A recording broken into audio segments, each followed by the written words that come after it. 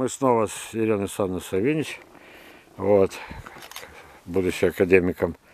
Вот, я всегда с удовольствием все показываю, рассказываю.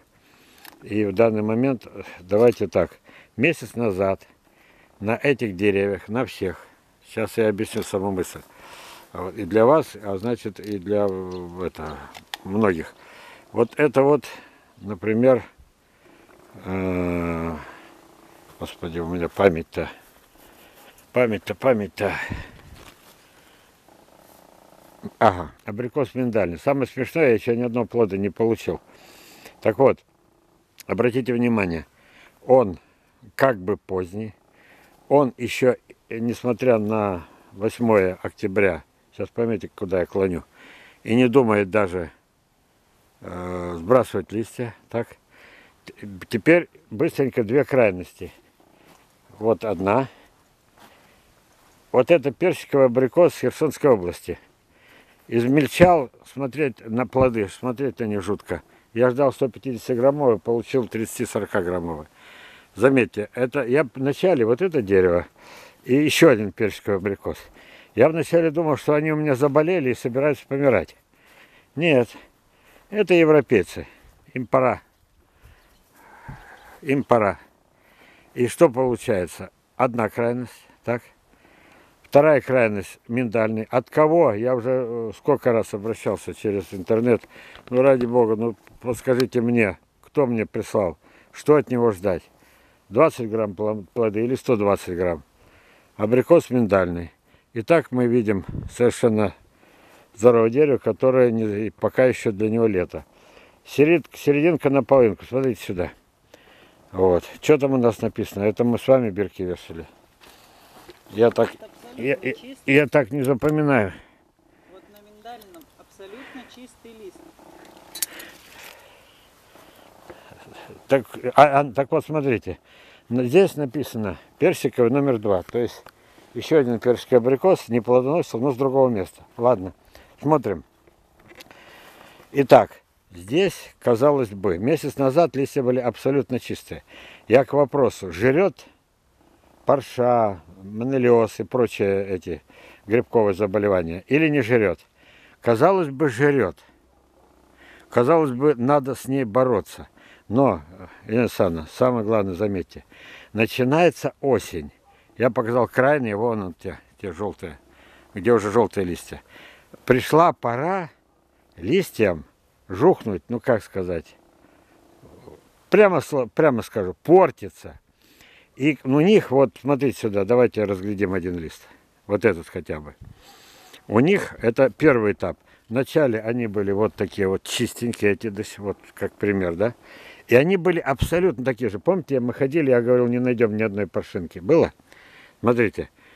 Он, пришла пора, у него осень, у него меньше тепла, у него начинается процесс, это, и тогда у него портится лист, и появляются первые мертвые участки. Участки, ну, начиная, наверное, с отдельных э, клеток, да, потом группа клеток там и они начинают... И вот только испорченный лист начинает... Вот дальше смотрим сюда, смотрите.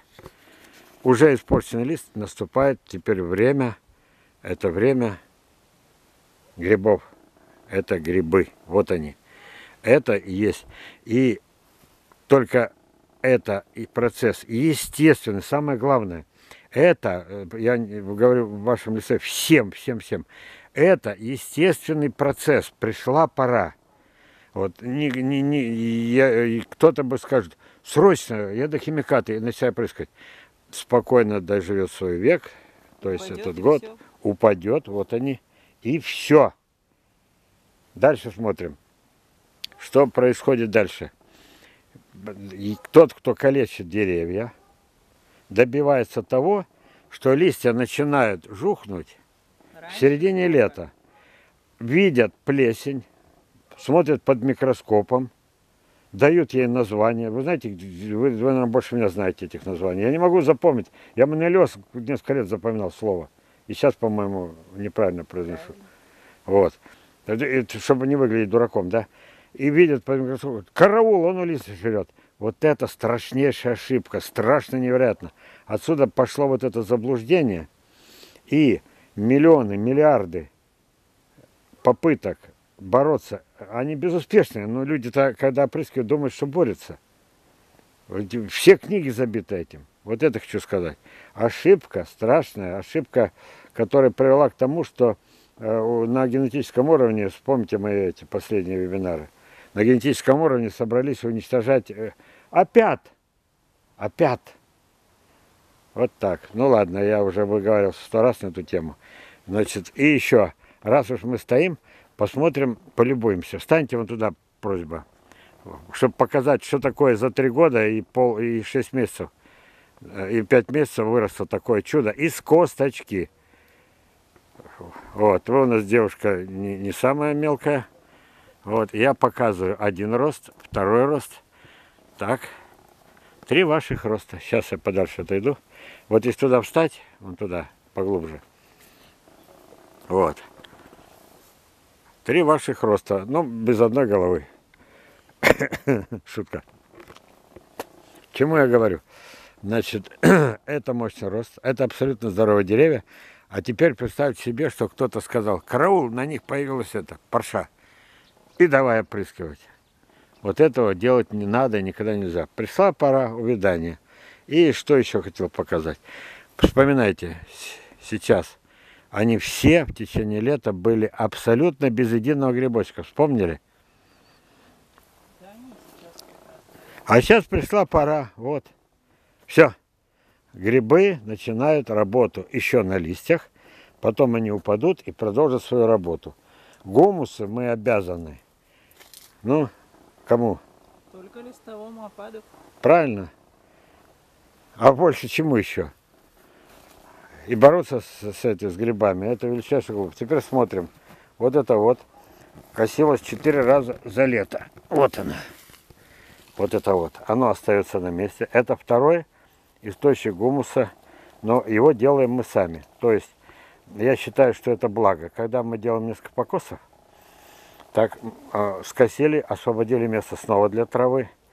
Снова э, до, до, до колена, снова скосили. Четыре покоса у меня, например, этим году. Так, и вся эта трава поступает на службу грибам. Это еда для, опять для этих грибов, которая уже находится в почве э, и там, где им положено быть. И с тех пор, когда я здесь ничего никогда не удобрялось, вот эти вот, пойдемте сюда, ну, это- на этого мы полюбовались уже. Это у нас а, этот самый э, с Херсонской области абрикос персиковый. Правда, вкусный, все, но мелкий, разочаровал. Ну, ладно, все, все, не буду о плохом, о грустном. Вот они. Вот тут Фаина, вот тут Королевский, Серафим. Видно меня? А уже, по-моему, не видно. Вот. Посадка однолетними в... Вон она, высота. Посадка однолетними в 2015 году. Вот. Это я к тому, что а, деревья настолько мощные, питание находят сами. У них мощнейший аппарат, который корневой аппарат, так. Вот. Никаких подкормок, все возьмут из почвы. Почва бедная, будет больше корней, почва еще беднее, еще больше корней, выкормится. И, наконец, здесь мы тоже не нашли ни одного грибочка. Так? Вот. Ну что, заканчивать эту тему. Что я сам, что я мог забыть сказать? Что я мог забыть сказать? Давайте так. Пойдемте-ка я вас буду угощать